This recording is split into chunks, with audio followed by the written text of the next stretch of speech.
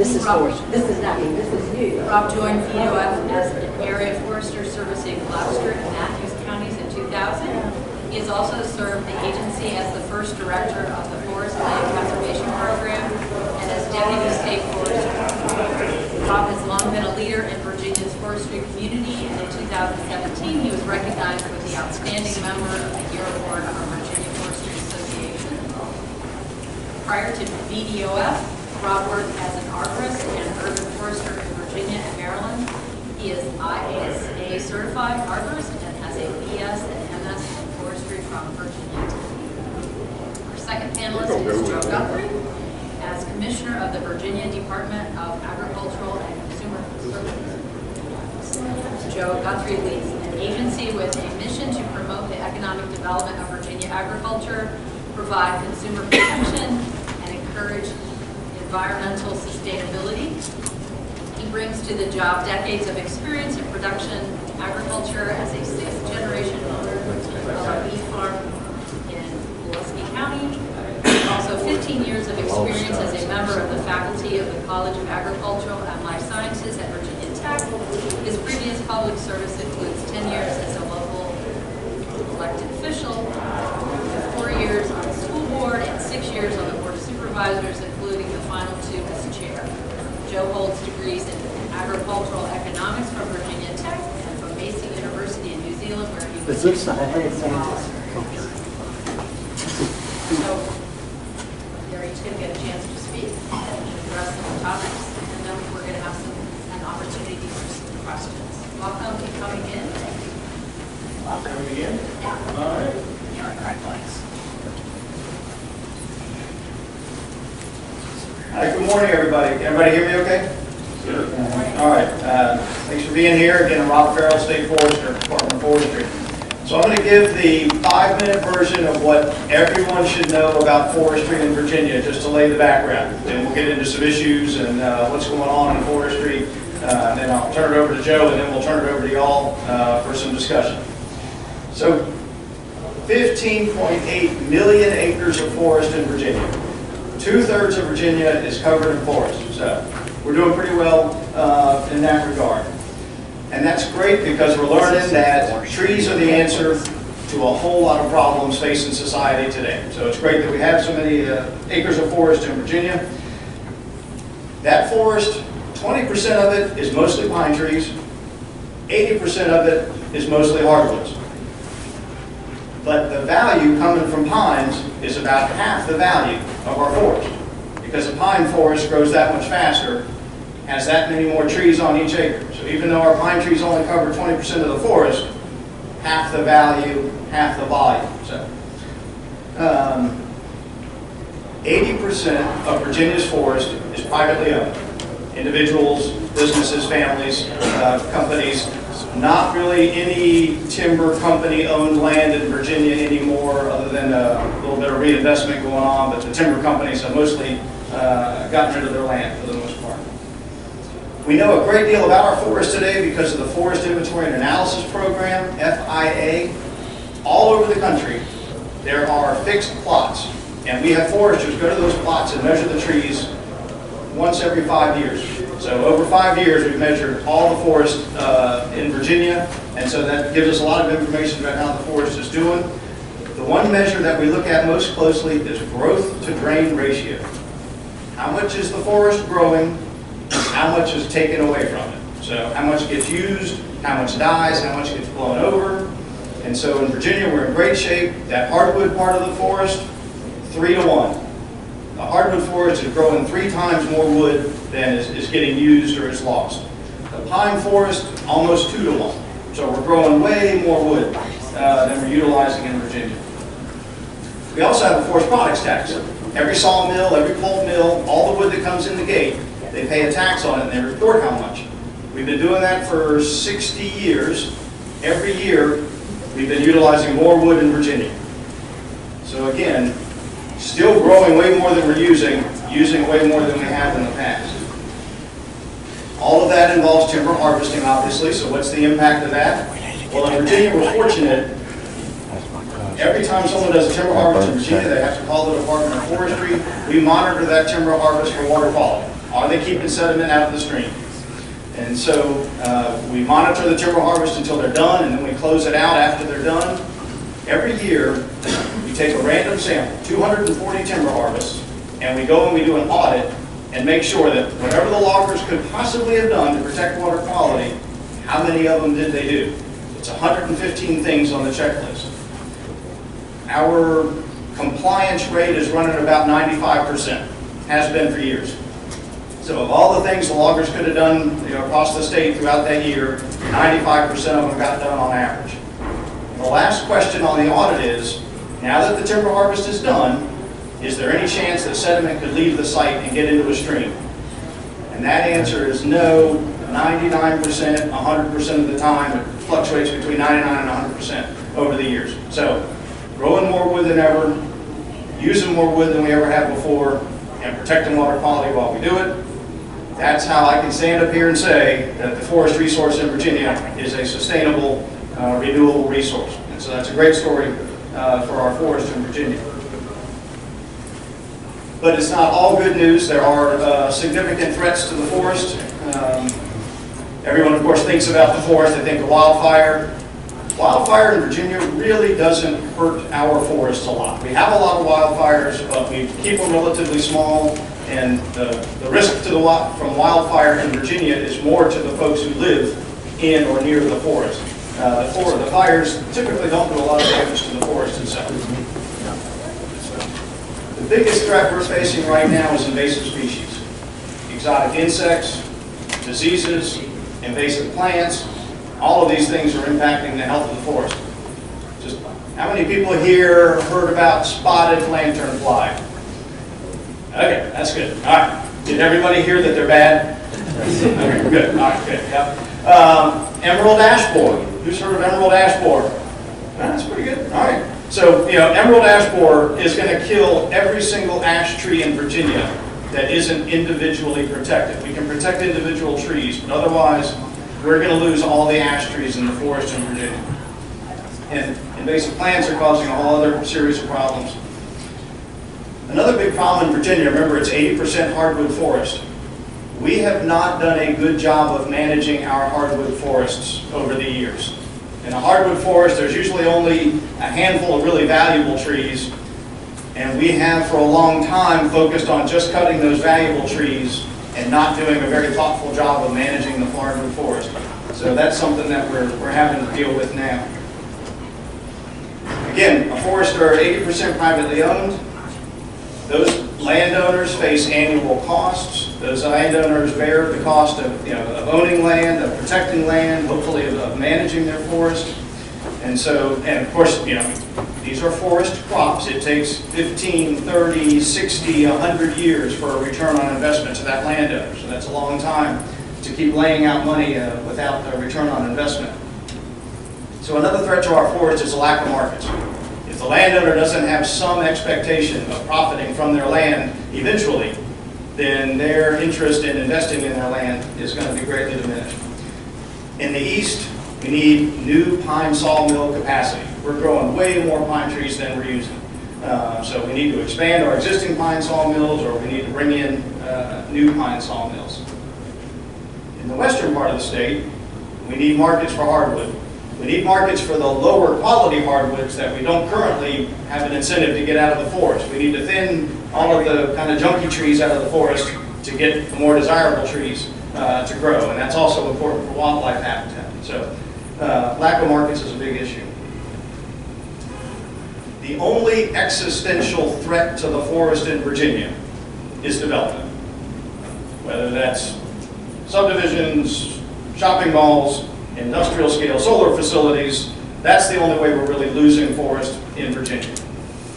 Um, So that's the, kind of the real quick and dirty on the, on the rural forest. Uh, The urban forest is also very important. Um, Again, we're learning lots of ways the trees make our lives better, especially uh, in urban areas. Our urban forests, while we recognize the importance of trees, uh, for the most part, urban forests are going in the wrong direction. we are not gaining trees and gaining capacity, gaining canopy cover. We are losing trees in most of our urban areas. Um, So we're losing the benefits uh, that we should be gaining from trees. And here again, you know, lack of intentional planning. You know, we are developing places without thinking about how do we incorporate nature into the development. Then we're trying to add nature back in at the end, stick trees wherever we can fit them afterwards. In our established communities, we're not investing in tree maintenance, so our trees don't live as long, they don't provide the level of benefits that they could. Uh, So again, just a, a lack of, of thought about what our trees can do for us. We're also learning that there is a very direct relationship between where communities have the fewest trees and where folks are in underserved communities. So there is a direct link to being, you know, poor, underserved communities and having even less tree canopy and even more health impacts uh, from not having that tree canopy there. The good news again is we are starting to recognize it. Trees are the answer. There's a whole lot we can do with trees to start solving uh, problems that are facing us. And a lot of great things are happening. I've, again, I've been in leadership in the Department of Forestry for 10 years now. I've never seen anything like uh, what's been going on in the last few years when it comes to trees and forestry. Uh, I would like to recognize VACO's help um, in this past General Assembly session with the uh, creation of the Forest Sustainability Fund. Uh, This was legislation passed by Delegate Bloxom and Senator Ruff. Um, How many people here have heard about the Forest Sustainability Fund? Hey, not enough. Got to work on that. So this is just, this is the first year. Forest Sustainability Fund is General Assembly funding to reimburse localities for the money that was the tax revenue that is deferred to forest land use. So the, it was funded with a million dollars this year. We started out by doing a survey of all localities. We got really good response uh, to determine how much total revenue is being lost due to uh, forest land use. And right now, I think it's due like tomorrow or the next day. Localities can request reimbursement for a portion of uh, the foregone revenue from forest land use. So this is the General Assembly recognizing the value that forests provide to society, recognizing that landowners are the ones bearing the cost for those benefits, and that localities are assisting landowners by deferring income on that. So it's society recognizing the benefits of what forest landowners are providing us.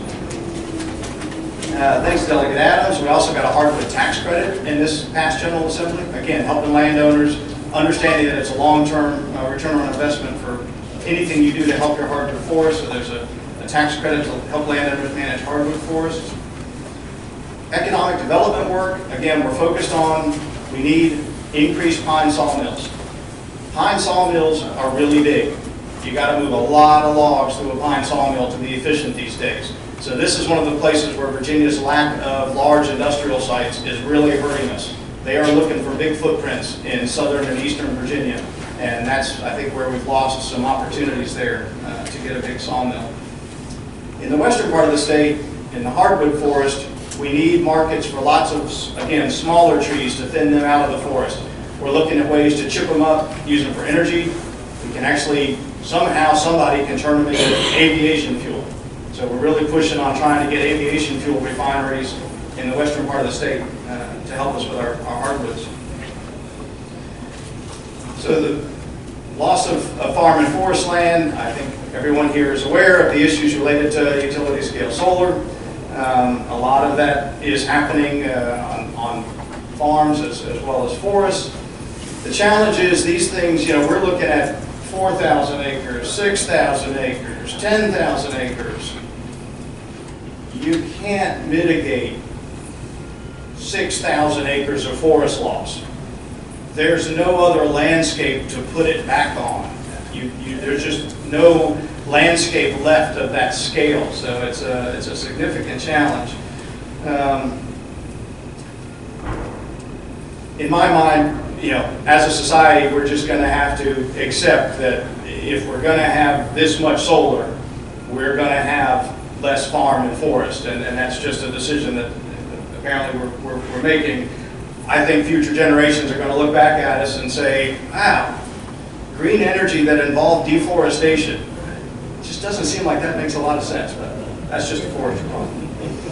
Um, So uh, another thing we're working on is how to increase our urban tree canopy. So again, go into those places where we don't have enough tree canopy, where it's impacting human health, and and get more trees into those places. This year, um, again, a lot of interest in the General Assembly, Delegate Bulova, Delegate Hodges, Delegate Hope, Senator Marsden. Um, We're it's a- trying to get a stakeholder process going to balance the needs of private landowners and developers to conserve trees during development, and then also looking at how do we help communities invest more in their trees. Everyone agrees, more trees is better in most places. Uh, We need more trees to protect the Chesapeake Bay. Again, we need more trees to address urban heat islands in our uh, cities. Um, We need more trees to offset uh, storm runoff, so lots of need for trees. This year, the General Assembly uh, provided uh, the Department of Forestry $4 million in water quality improvement funds over the biennium. This is a huge increase in what we've had before. So we are going to be able to greatly increase our funding to communities to plant trees, uh, as well as the planning to get those trees in the right places. Uh, We're also setting up some other programs. One of the things that I'm most excited about is, you know, when we talk about getting more trees in urban areas, most of my foresters did not grow up in urban areas. We're foresters because we grew up spending a lot of time in the forest. So we're probably not the best people to go into heavily developed urban areas and say, here's where a tree should go and here's the kind of tree you should have. So we're really going to focus on finding folks within the community who can help us decide what trees, where do they go, how are they going to get maintained, who's going to be responsible for them. So I'm really excited to bring natural resources into the urban areas, and, and I think we're going to get a whole lot more people interested in the natural resources that way. The really big news is increased federal funding. A lot of infrastructure money is going to forestry. There's one and a half billion dollars nationwide going to urban and community forestry. And so communities are being reached out to right now by lots of people who want to get that one and a half billion dollars and help communities. Uh, So the Department of Forestry, we are certainly reaching out to the communities that we work with, uh, the uh, Forest Foundation, American Forest, there's a lot of folks, Arbor Day Foundation. We're trying to figure out how we're going to get this money out to communities. So if you haven't heard from someone about urban forestry money, you will. Um, I feel like in Virginia, we've got a great program in place, so we're really well situated to get that money distributed to the communities that we work with in Virginia. So I think we're going to do really well um, by getting our share of that one and a half billion dollars and getting it spent well. So I just talked about forestry for hopefully just 15 minutes, and I didn't mention carbon. We'll leave that for the rest of the discussion. I won't take up any more Joe's time. So, uh, thank you all. Look forward to the discussion.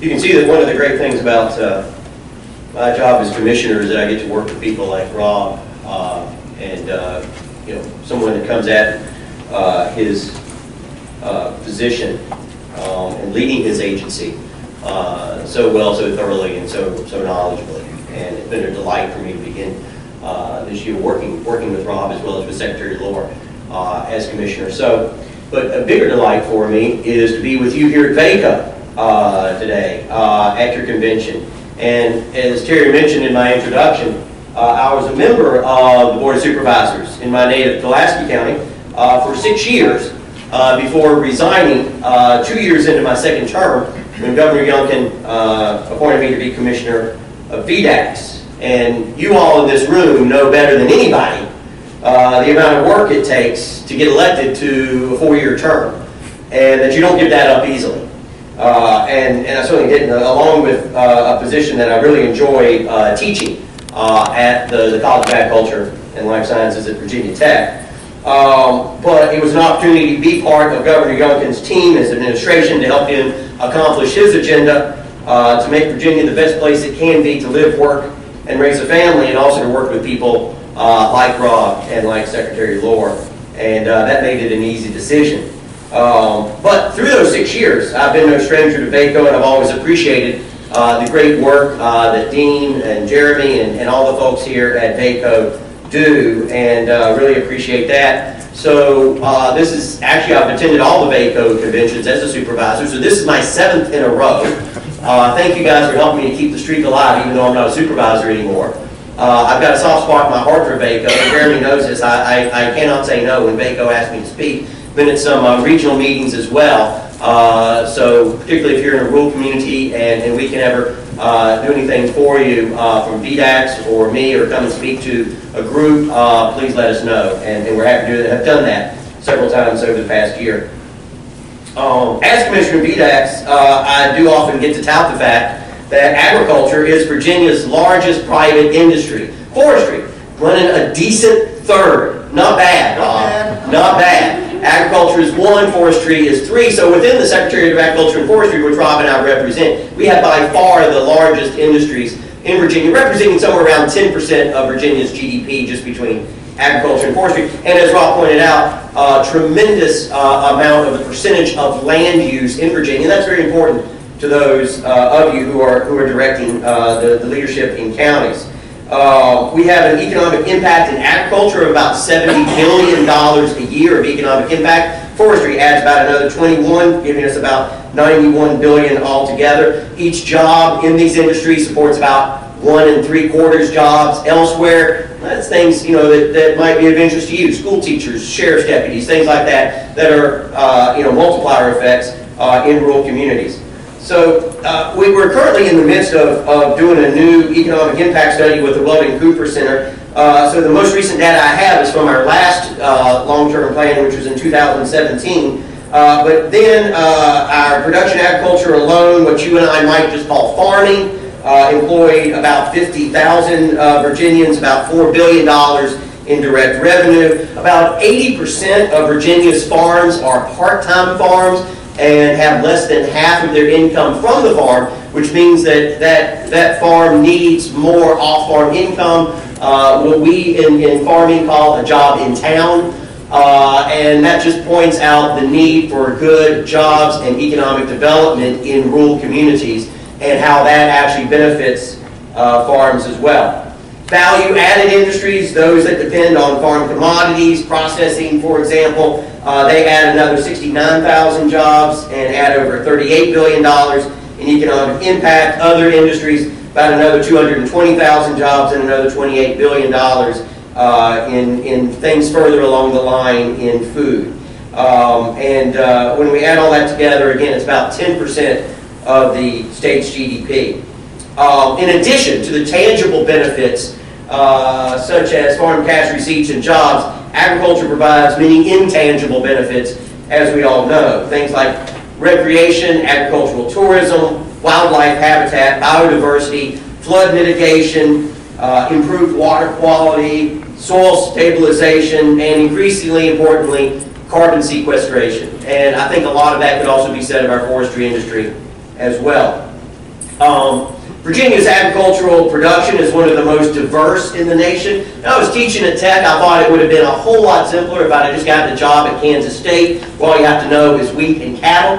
Uh, in Virginia, it's a lot more than that. Uh, we've got everything from cotton and peanuts and soybeans and row crops in the eastern part of the state, up to a very diverse uh, amount of agriculture in the Piedmont region. That's a, a mixture of, of, crops, livestock. You mix in specialty crops like uh, fruit and grapes. And then in the western part of the state, west of the Blue Ridge, primarily a livestock focus, beef and dairy, also, also some sheep and some other uh, species there as well but also uh, a robust uh, uh, row crop and, um, and also specialty crop industry all around Virginia. If you ask me if I had to choose one place in the world uh, to live and I could eat only local foods grown in that place, where would I live? The answer would be Virginia.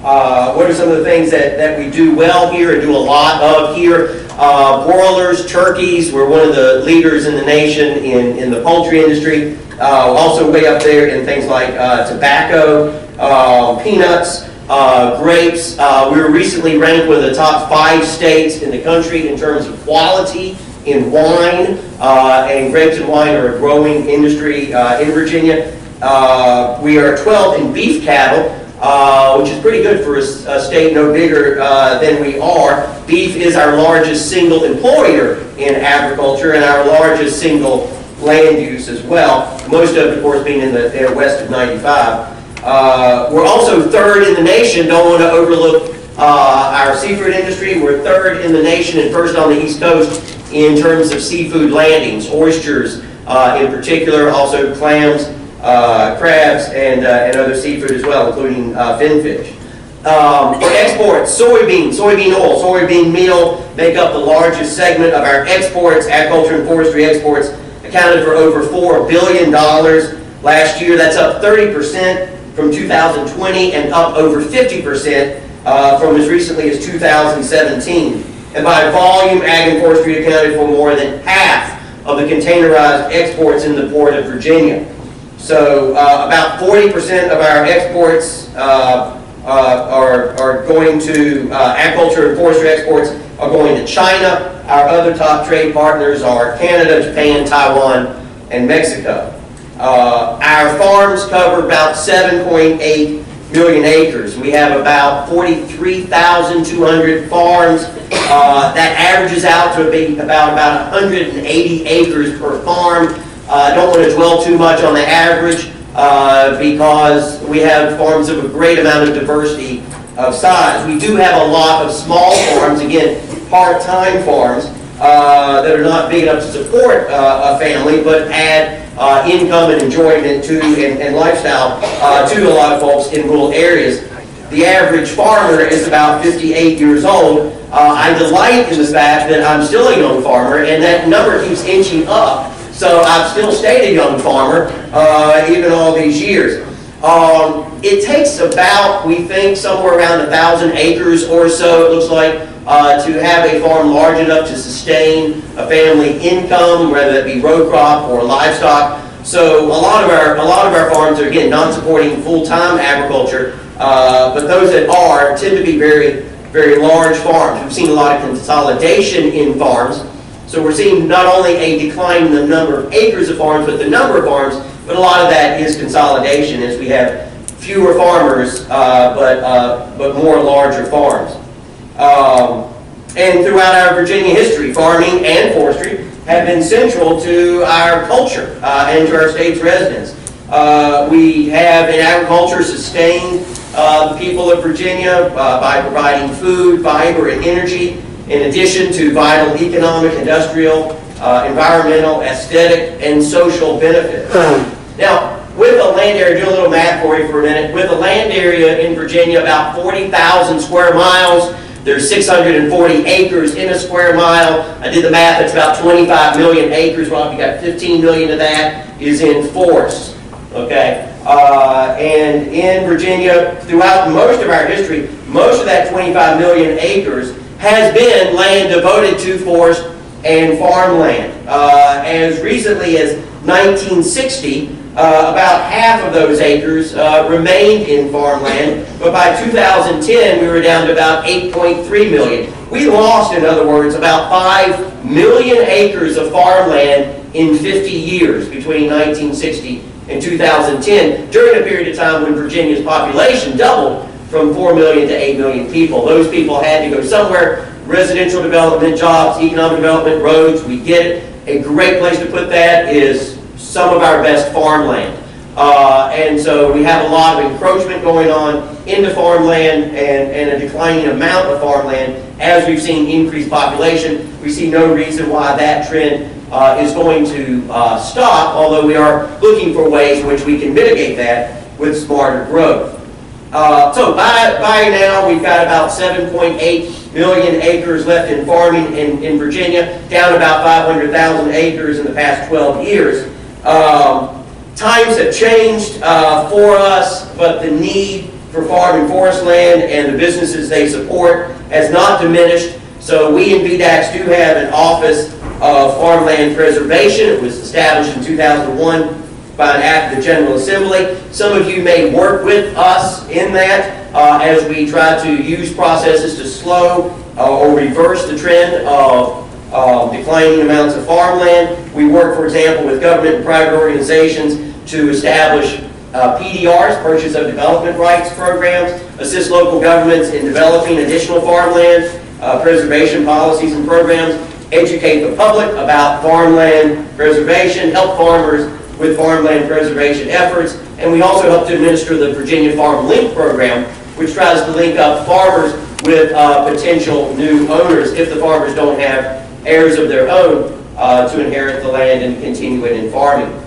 Um, now, uh, we were doing about, in 2019, we got some skewed statistics during COVID, of course. We were doing about $630,000 a year in state matching funds for uh, several local PDR programs in several counties. Uh, and our office has worked with PDR programs to permanently preserve thousands of acres of forest and farmlands in several localities and continues to do outreach activities uh, in a variety of ways. So, we have less farmland in Virginia, and that's following a trend around the U.S. in general as our population increases, but we're not starving. So what happened? We got more productive with the land we have left, right? Uh, that was that was made very apparent to me as I was reading an, an article in a dairy magazine uh, a few weeks ago uh, that was doing that showed a budget for a dairy farm from 1947. I found it interesting looking, you know, how you look back at the prices of something from way back in time, look at the difference then and now. The cost structure for the dairy farm wasn't much different than it is now. The revenue was, but the cost wasn't. It struck me as very odd. Couldn't figure it out at first. Why is it that the costs were almost as high then as they are now to produce 100 pounds of milk? It's based on a budget of 100 pounds of milk. I couldn't figure it out until I realized this. They were budgeting for five days to produce 100 pounds of milk. Today, an average cow, an average cow will produce over 100 pounds of milk in one day. A cow today can produce as much milk in one day as a cow in my father's generation could produce in a week. Amazing. It's amazing what we've done. My father, I'm one generation removed from someone who was farming with a horse. Many of you are too. One generation, my father walked behind a horse that was pulling a plow until he was 18 years old, bought a tractor, 1943. Walked behind a horse that was pulling a plow. By the time I was farming with him, he was driving a tractor that had 125 horsepower to it pulling a plow. By the time I inherited the farm from him, we weren't pulling a plow anymore. We quit pulling plows because we were using no-till as a conservation method for our soil. Quit using them. I think I know where that plow is. I'm not quite sure. But I think if I look back in the weeds far enough, I could probably still find that plow. I haven't used it in years. Because plows provide opportunity for erosion, and we mitigate that by using no-till methods. Those no-till methods, though, are based on modern innovations such as herbicides and other crop protectants uh, that make it possible to have weed control uh, without tillage. Those are just some of the examples uh, of how we've become more productive and efficient in farming, and we've seen, along with that, because of economies of scale, a declining number of farms and increased consolidation. Uh, there has been, in fact, probably more innovation and advancement in production agriculture in the past 100 years than there have been in any 100 years prior to that and maybe in all of human history combined.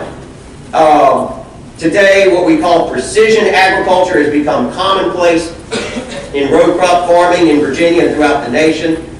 Autonomous auto-steer tractors pull planters and sprayers that can vary the types and rates of seeds, fertilizer, chemicals to match the soil types in precisely satellite mapped fields, greatly reducing costly inputs. Drones perform advanced imaging of crops, numerous other duties around the farm. In fact, agriculture is in many ways on the leading edge of technological advancements. The Youngkin administration uh, is highly supportive of what we call best management practices in farms, practices that help to preserve soil and reduce water pollution by, for example, providing funding for cover crops.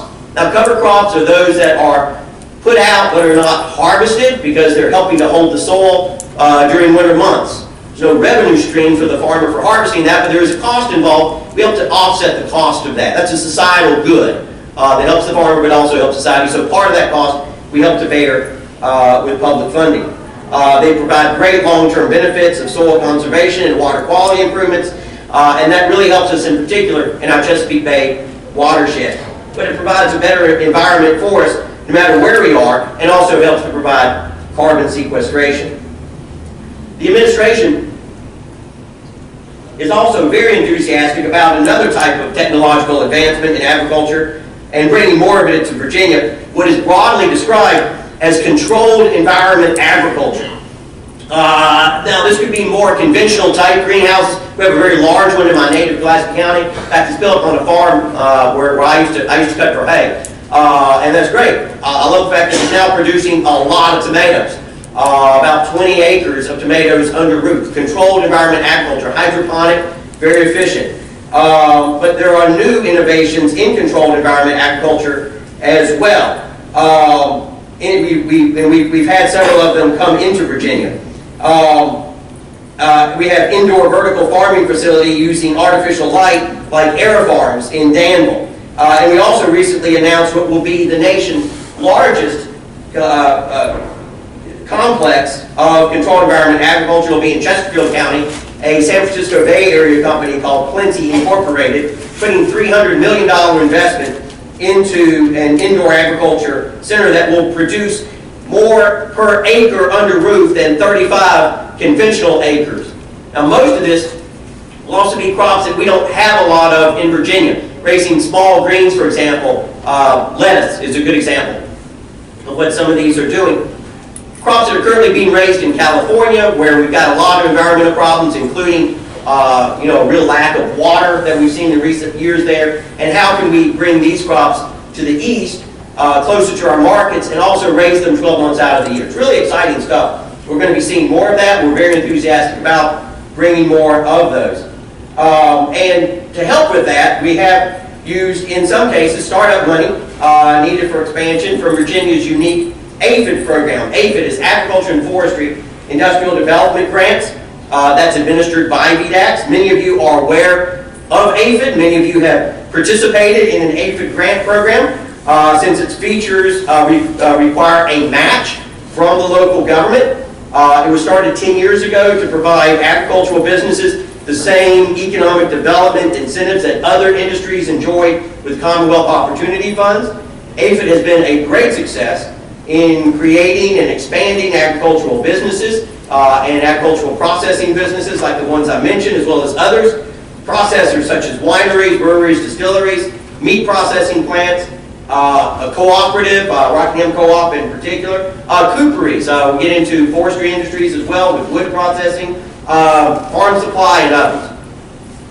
Now the interest and the size in controlled environment agriculture projects and the governor's goal to be the national leader in those, along with the success and demand for more APHID funding, is leading the administration uh, toward looking for expansion of funding for APHID. So more money may be available for that in the coming years than has been before. Again, because that has a local match component to it. I hope that uh, you would look for that uh, as a possibility and let us know uh, of, of possibilities for that in your localities.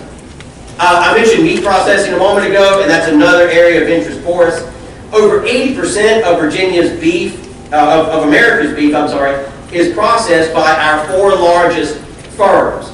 Now, the effect of COVID showed us the fragility of that meat supply uh, in that supply chain and a consequent desire by many Virginians to acquire a local source uh, for their meat supplies and meat processing.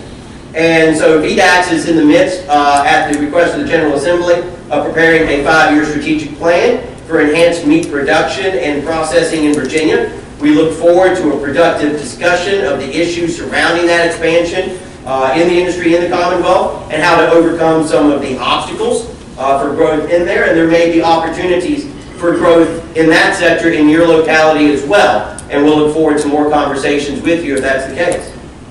Uh, hemp and hemp-derived food products are another area of focus for VDACS. We are enforcing some current regulations uh, regarding hemp products, uh, some of which affect Delta-8 products. Delta-8 is similar to THC, but is a, is a slight change in a different isomer. Uh, and it is because of that considered to be an adulterant in food and beverage products. It is a synthesized uh, product rather than a natural product. uh, in the quantities uh, that it's being sold in. And because there is not an approved manufacturing process for that, we regard it as being an adulterant if it is in a food or beverage.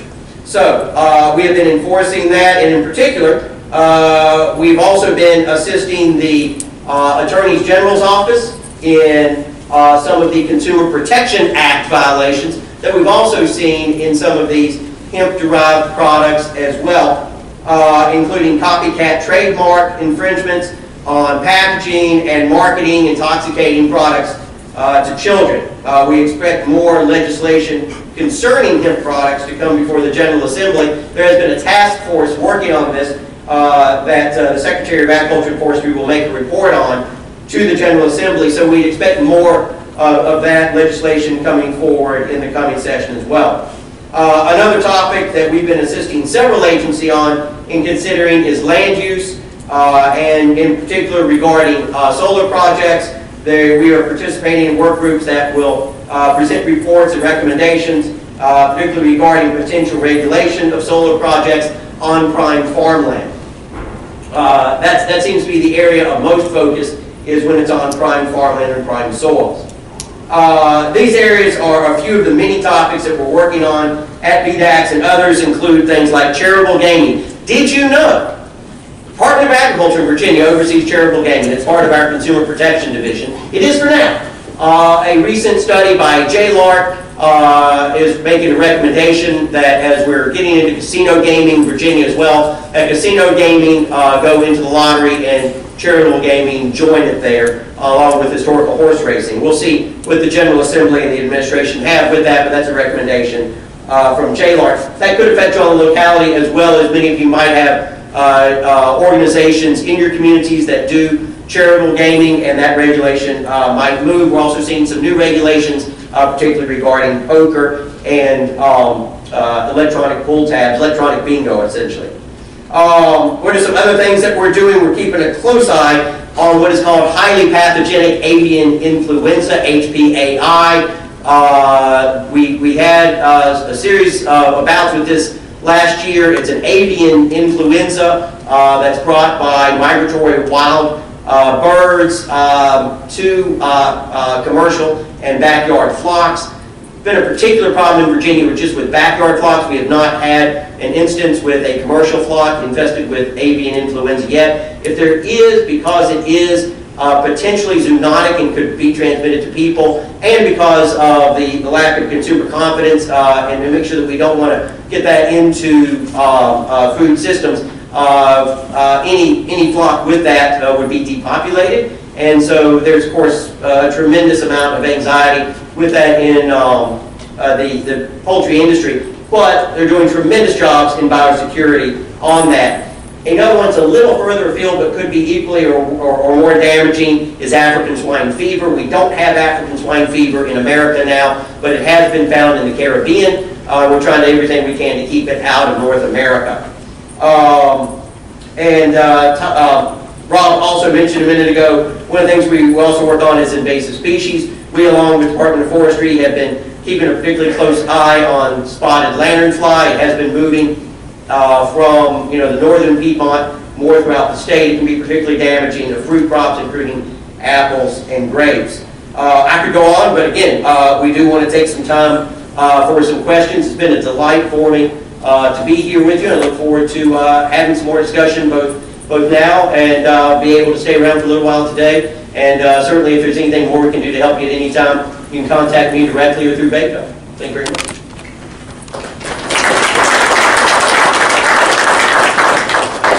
Thank you very much. Um, I have a question for um, both panelists. You touched this some in your presentation, okay? But I think that uh, probably a lot of people in the audience will continue to eat is that this topic is um, on everyone's mind. So many rural counties, when weighing the pros and cons of converting farm and forest lands to solar, have raised concerns on impacts to the local economy in terms of loss of land, products, jobs, and sales of farm and forestry equipment and supplies. Do you share their concern? If so, what action might the state take to ameliorate these impacts? And I know you touched on it a little bit, but just go back and think more about it. Uh, So, you know, I, I'll speak, uh, focused on industrial scale solar. So, you know, very large uh, acreages of solar.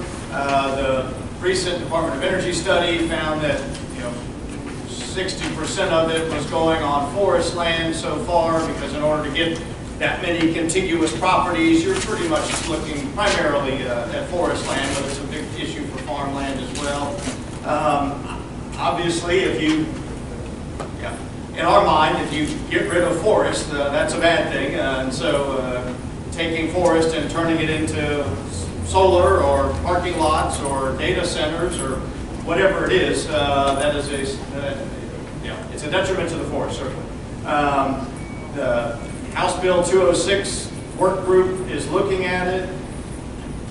Again, I, I just don't see, I, don't see a solution. We're, we're gonna have to choose solar, or, you know, if we choose solar, we're gonna give up some other things, and, and that's just uh, a choice we're gonna have to make as a society.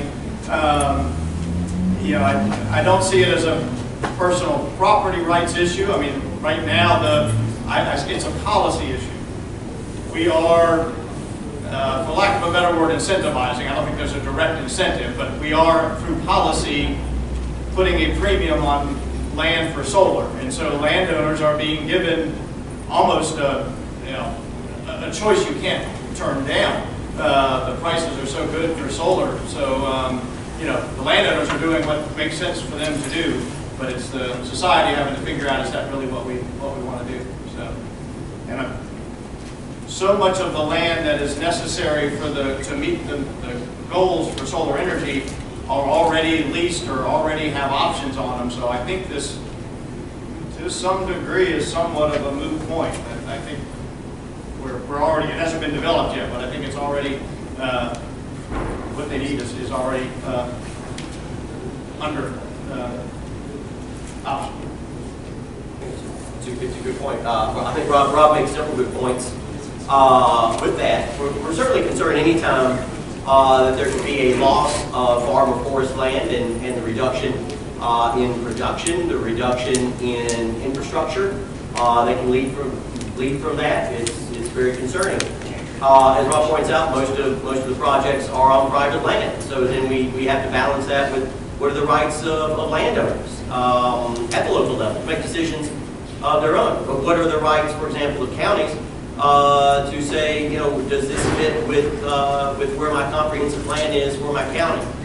Um, I was a supervisor for six times as long as I have been a commissioner so far. I could, I could mention some things as a, as a supervisor. Um, if I were still a supervisor, and we did a, a, a large-scale utility program in Pulaski County, a small portion of it uh, is uh, on a small portion of some land that I own. Um, if I were a supervisor, uh, I would say things like, I would want to make sure that any sort of uh, state action uh, kept land use issues that are currently a local issue continuing to be a local issue. I would be concerned and I would want VACO uh, to make sure that uh, our voices were heard of supervisors, uh, that it continues to be something where communities and uh, counties in particular uh, get to continue to make decisions that they have been making. I wouldn't want any loss of authority from that because I think it, there's not a, a great one-size-fits-all uh, on this or any land use issue. I think it varies a lot according to uh, the different localities. If I were a supervisor, I would want to make sure that before a solar project came before me and, and I was, you know, in front of the public on a dais at a public meeting, uh, that my staff had done a really good job of vetting that project. Um, a lot of these projects are not coming with, uh, the ones that are renting, for example, I was talking about how much land has been rented. Uh, a lot of those don't have the capital, the financial wherewithal to actually pull off the project. Um, I want to make sure before, before I took any vote uh, on something, let's say that it's a agricultural zoned area and needs an SUP uh, to do a solar project on that area, uh, that it had the financial wherewithal uh, before staff brought it to either my planning commission or the board of supervisors. Uh, I want to make sure that any of the questions that were going to be asked about it were well answered and that staff could give good answers to those. There are a lot of really good environmental, uh, financial, and other questions uh, that folks will raise. And there are answers to all of those questions, but they need to be answered. And they should be answered, uh, you know, by, by staff, by your, whoever it might be, your, you know, your planning and zoning or whoever you have in that role or that capacity, uh, before they come to your planning commission or become, uh, to your board of supervisors. Uh, I would want to make sure that it fit my comprehensive plan. Uh, If my comprehensive plan was calling uh, for this type of expansion or development, fine. If it wasn't, uh, I think that's a, that's a reason to say, hey, maybe this doesn't fit in our community. Uh, But there would be other, other counties that would say, yes, we're really looking forward uh, to having this and having the, you know, the benefits of this uh, investment, uh, tax revenue, uh, you know, increased rents for our landowners and other things uh, that it provides, but also understanding, mitigating the, the, the the concerns about it, including viewshed, loss of farmland and others. It is an absolute true statement that you cannot mix forestry and solar panels. The trees are way too tall and get in the way. There is an ability to mix farming and solar, uh, and that might be another way in which it could uh, uh, be more palatable to some to some localities. There can be some amount of livestock grazing, particularly with sheep. Uh, also, some amount uh, with um, uh, bees and pollinators and other effects that can be beneficial. You see that mostly again west of the Blue Ridge, uh, east of the Blue Ridge, uh, particularly east of 95, where we have mostly cropland. Uh, you can't mix solar in corn either, but there is some amount that can be done in the livestock industry. So those would be some things that, that I would really be looking for if I were still a supervisor about uh, a solar project. We're going to watch it with a great deal of, of interest uh, at VDACS. Uh, again, the, the, the focus seems to be mostly on prime soils and prime farmland. Uh, first, we've got to come up with what exactly that means and where those are, uh, and, and, and work through that as well. Those, I think those are just some of the topics of a very complex issue uh, that uh, I think will, will continue to be so uh, as long as we have this increased need for electricity uh, and we're looking for sources to provide it.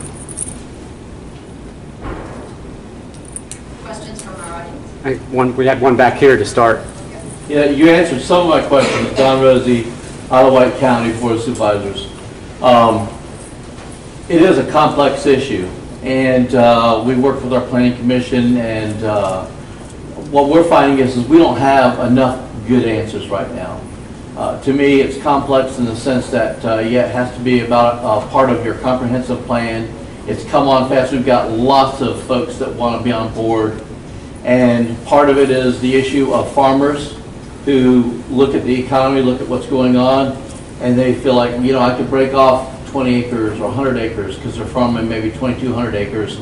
And this could ensure that I have my farm to hand down to my children, my children's children, because it's so tough, that's a guaranteed source of income. And oh, by the way, I don't have to do any inputs, right? And we know how inputs have gone up, uh, because I work in the ag industry as well.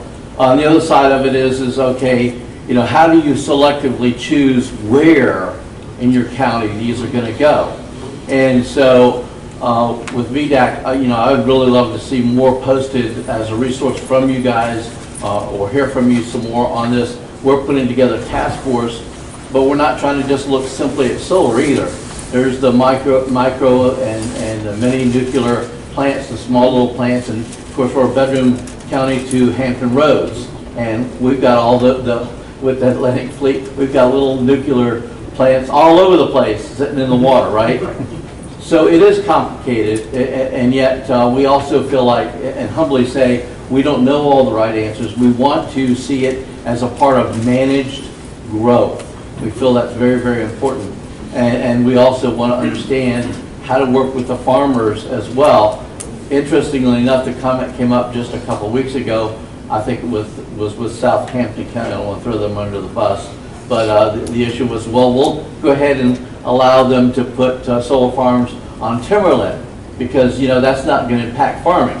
It's just like, no, no, no, no, no. That's not the answer either. So we really need, yesterday, more information, more guidance in how to put together a, a a task force that we're putting together on energy as a whole. And, and this thing, this is a part of it. And so that's just my thoughts. And Uh, Really appreciate what you guys are There's saying. some, there- there's some really good thoughts, and, and I think if you have unanswered questions, I think the point I was making, I would want, if I were a supervisor, to have all those questions answered before I can move, before I can move forward. And I think that's, that's a Right. really good, uh, you know, route, route to go. And if something answered all the questions, uh, I think it's, I think it's, you know, entirely appropriate to say, hey, this fits within what we're doing. And if, if you can't answer all those questions as yes, uh, you say, hey, you know what, this didn't work out. But I would, what I guess my point was, I would, I would only want those to come, those projects to come for me if I were a supervisor, where I could answer those questions as yes, I would want staff to work with uh, the developer to make sure uh, that they could answer those questions uh, before they came forward. So would, would would one of you guys be willing to come to one of our task force meetings to help give us some guidance, input, and resources? I, I, we're, we're not the experts on Right. solar, but to the extent that we can come and talk about uh, farmland and other, other uses of land, uh, I'll be happy to. But again, I, I- a lot, of- a lot of cases, it's a- it's a judgment on the part, locality, of the individual, of the supervisor, of the project itself, uh, that, that I think go along with any sort of development project, uh, whether it be, you know, uh, industrial solar, or whether it be commercial, residential, industrial, or, or any other project uh, that you're looking at, how are you going to make the best use of land in your locality? But certainly, if we can be of a help to you in, um, in, in in farmland, we'll be, we'll be happy to. We love, we love Isle of Wight, and what you guys are doing there with, with farming, the unique area that you have in southeastern Virginia, where we have uh, crops that we can grow there that we can't grow in the rest of the state. Middle capital of the world. Yeah. Yourself, Thank you. yeah. Uh, Donna Price, Chair, Albemarle County Board of Supervisors. Appreciate all your comments. If I can follow up on the gentleman's comments, however, I think it is wrong to expect that every county is going to be able to have the financial resources to be able to answer the questions. That is something I think we need the state to be able to provide us some of that guidance and assistance. Albemarle County is fortunate.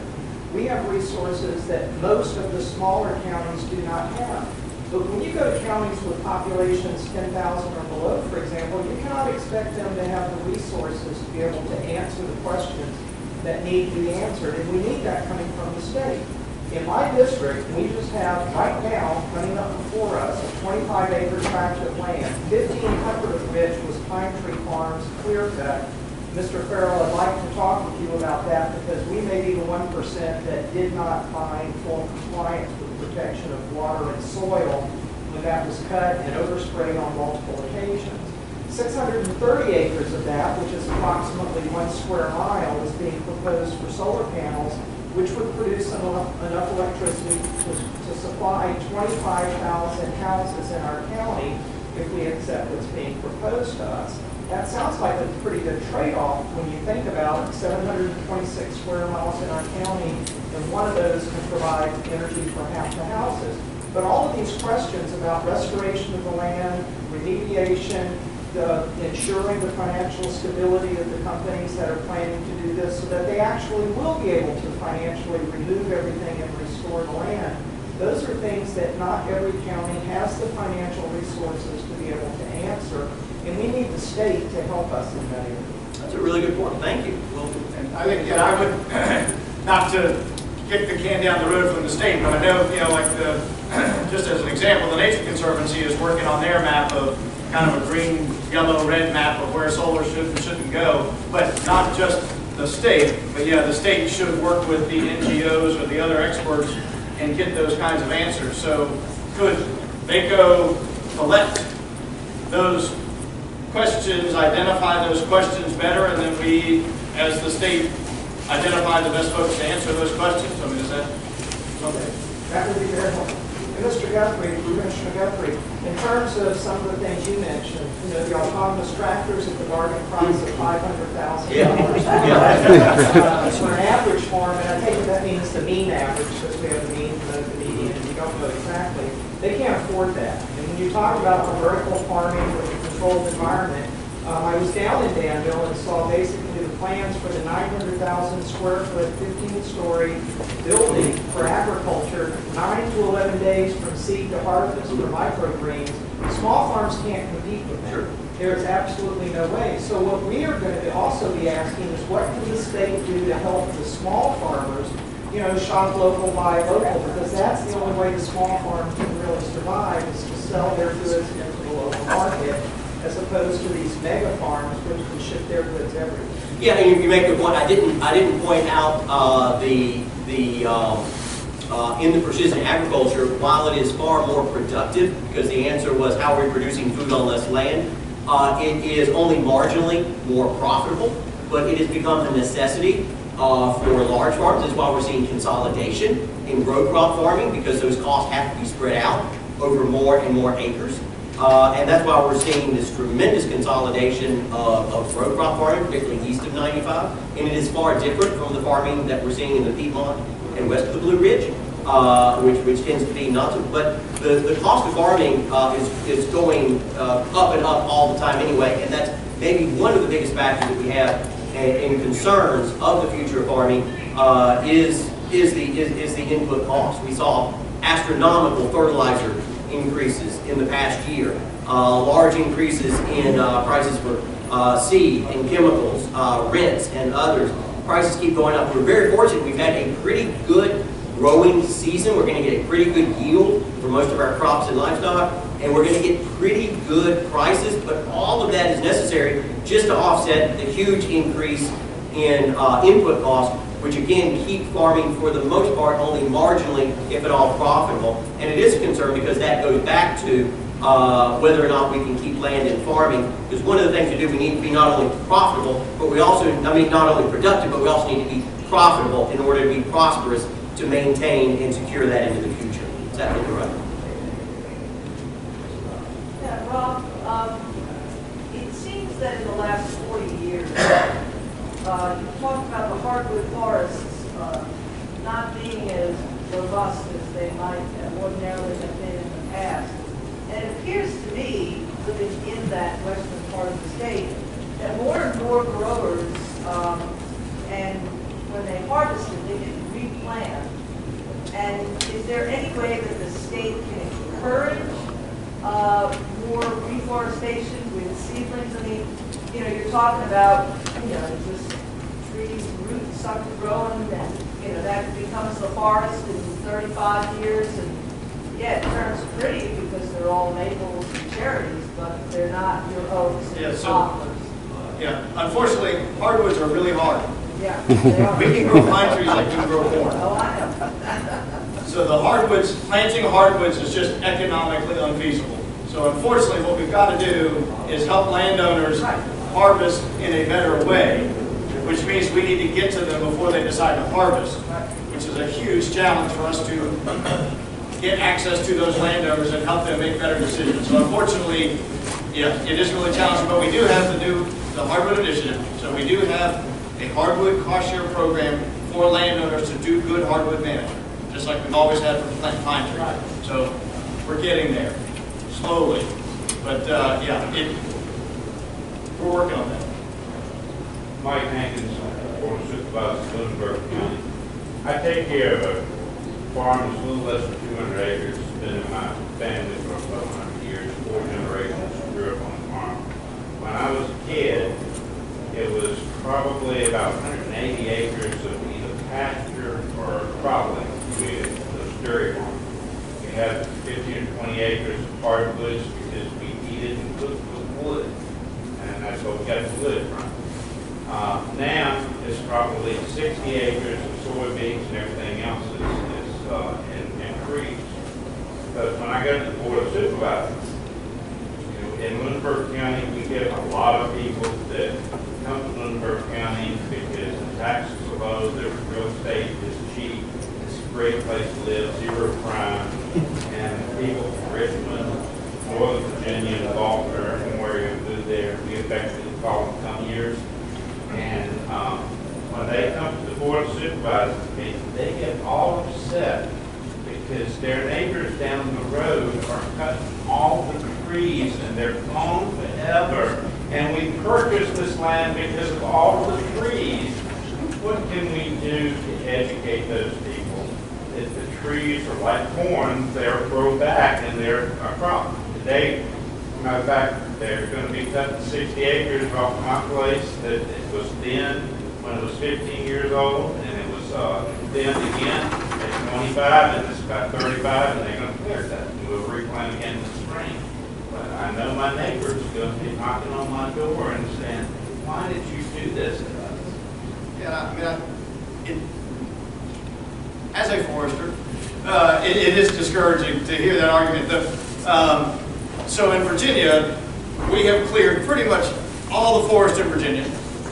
Anything that was flat enough to walk a horse on, we dug up the stumps and we turned it into cropland and we completely uh, used up the soil, abandoned it, and forest grew back. And after having forest grow on it for a couple of decades, the soil was replenished enough that we could get rid of all the trees again and put it back into agriculture again, deplete it again. So I mean, in a lot of places in Virginia, we're on our third forest.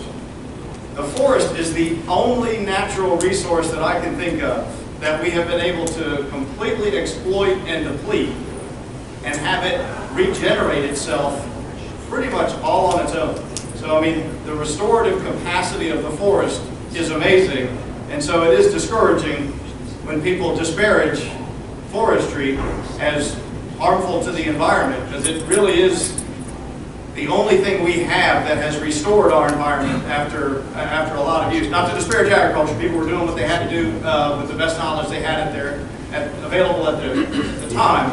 But yeah, it, it is the only way we keep forest on the landscape is if we make forest profitable for the landowner to maintain that forest. And the best thing, sorry, again, Joey, just, you're just gonna have to live with me on this one. Forest is the best land use for the environment. Um, and so, you know, if we don't allow forest, the practice of forestry, we're gonna have less forest, we're not gonna have as healthy of an environment. How we get that message out, I don't know. I have people coming forward to supervise me complaining because they're cutting the virgin timber.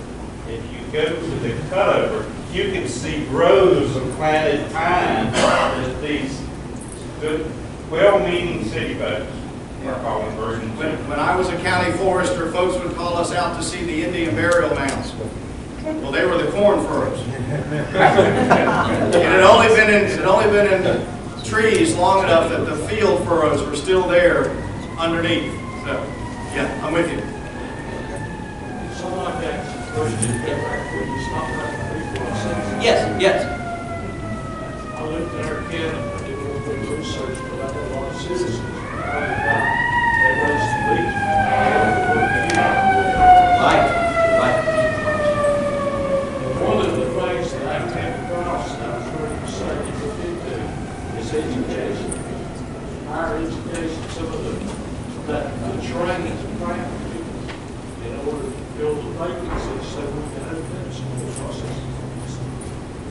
Yeah, sure.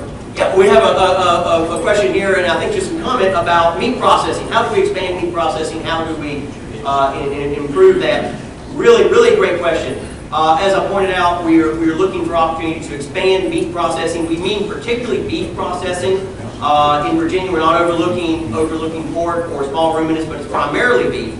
Uh, we are looking for that for uh, state and federal inspection rather than custom inspection. We have a lot for custom inspection, but custom inspection uh, can only be used uh, privately and not sold. So what can we do to have a more robust uh, industry in which we can sell, both in Virginia and outside of Virginia, through state and USDA grading on our, on our meat processing? We've had several uh, meetings about this and gotten some really great feedback from folks, including a comment that you made. It's going to take a year before I can get an animal processed. And in fact, it's probably longer than that. What the meat processors are telling us is, I'm only booking up through the end of 2023 because I don't have a 2024 calendar yet. Okay? But if they did, it would be further than that. There is one meat processor in Lynchburg that will handle things on a shorter term basis within a few days or a week. Uh, it's a little bit more expensive, uh, but that's an alternative. I think more of that will happen. We don't have enough capacity to meet the demand. So why isn't the supply increasing? And we're looking at what some of those issues are and what we can go to do to be helpful to increase that supply. But it's some of the same things that we're hearing about in other industries. Why can't we expand? Why can't we have more? Things like uh, a shortage of labor, particularly of trained labor. uh, of education uh, for people going into the meat processing industry, uh, that expansion is difficult, expensive, uh, risky right now, high interest rates.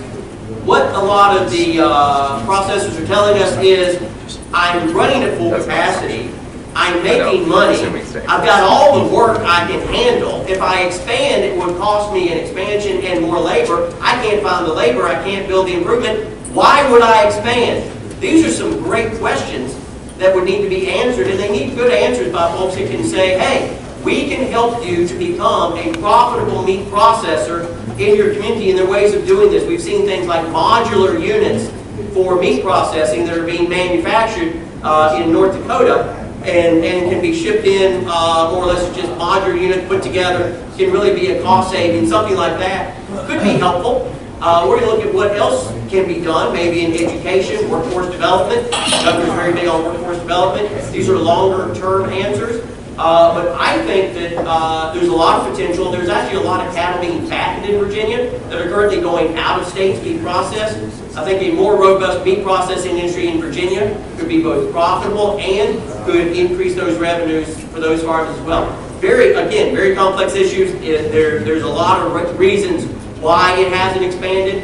And again, the AFID program, but I think other programs could be helpful uh, in helping uh, to make that expansion possible. If it's seen as being profitable, I think the marketplace will respond to it. The state's are going to do what we can to be helpful. We were hopeful that some influx of funding from USDA for meat processing would be helpful. Unfortunately, it wasn't. Another round might be, but most of the money for USDA went not to small processors like we were looking for, but not to the top four, but to the number five through nine uh, processors, which we don't have in Virginia either.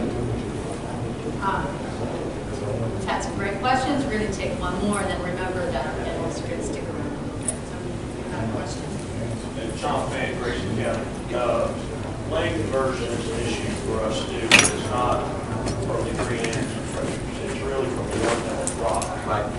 So, you have Halloween pumpkins, Christmas trees, big deal there. And the concern is obviously as you hit on uh, the value of clear cut mountainside, basically is playing Christmas trees. Taking off that forest that's need for a monocrop. And I'm all about a Christmas tree and pumpkin, I use them every year. But the idea behind it is that we're valuing, know, as you mentioned on a societal standpoint, where we're making a vote vote on energy. We're also making a vote for something that we use once a year versus something we use three times a day. And so the challenge we're having, part of it is the ability to manage it as, as at the local level. You know, Christmas trees are kind of managed as an agricultural crop instead of a forestry crop.